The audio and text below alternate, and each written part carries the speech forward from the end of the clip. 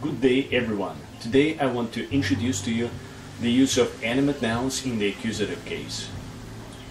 In order to do this, first I will tell you the noun in the nominative case and then I will tell you the noun in the accusative case. And after that I will give you the explanation. We will begin from the masculine nouns. The first word will be brat, meaning brother. Brat, it's the nominative case, brat. And in the accusative case, the noun will be brata. Brata. As you see from the example, the nominative case answers the question who, кто, who, кто, brat, brother, brat. In the accusative case,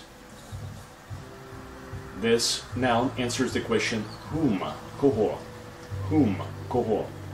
And the answer is brata, brother, brata. As you see, the ending here is a, a. And usually, in most of the cases with the masculine noun, a is the ending here in the accusative case. Let's see the other examples. The next example will be the word friend, which is in Ukrainian друг. It's the nominative case. Friend, друг. In the accusative case, it will be друга, друга. And as you see, the ending here again is a. Let's see other words. Священник, meaning priest. Священник. In the accusative case, it will be священника. Священника. And again, you see here, the ending is a. One more word. Журналист, meaning journalist. Журналист. In the accusative case, it will be журналиста. Журналиста. And again, here ending is a. Also note that if the masculine noun, animate noun, ends in a soft sign, the ending in the accusative case will be ya.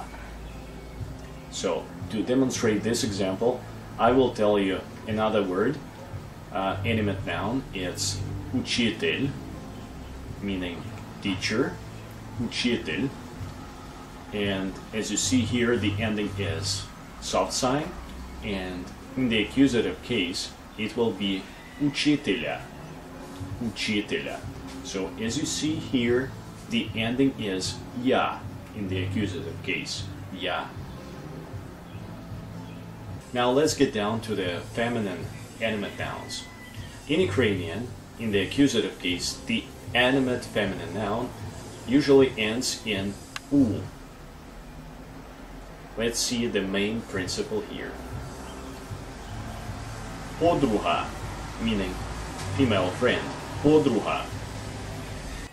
In the accusative case, it will be podruhu.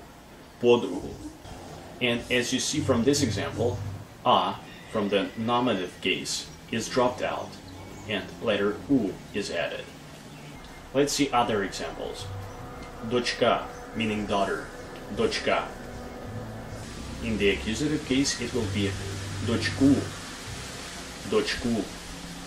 Another word is сестра, meaning sister. Сестра. In the accusative case, it will be сестру. Сестру. And again, in this rule, there is a slight exemption. If a noun in the nominative case ends in the letter ya, in the accusative case, it will end in u. Let's see the example.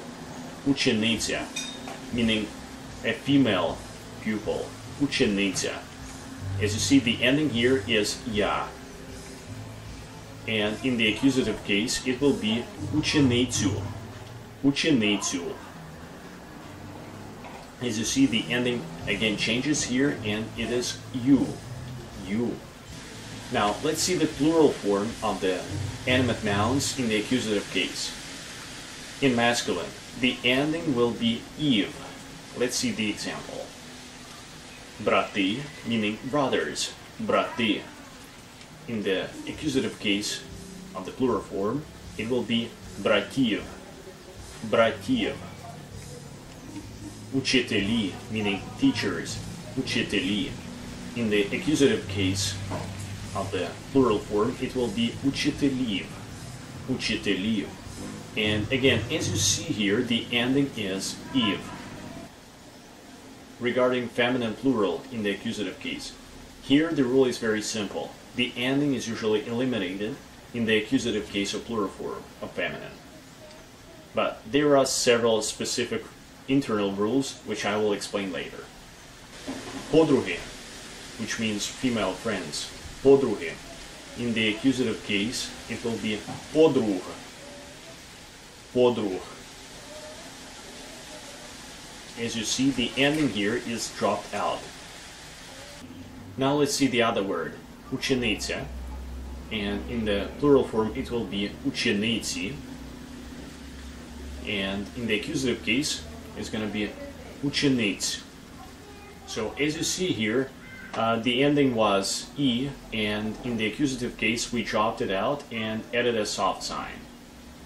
If there is a combination of several consonants in the end of the word, we insert either e or o letters in between them in the accusative case. Let's see the examples. Sestri, meaning sisters. Sestri. And in the accusative case, it will be sester. Sester. Try to apply these rules with the other words you learned in the previous lessons. And if you have any questions or comments, feel free to write me or comment.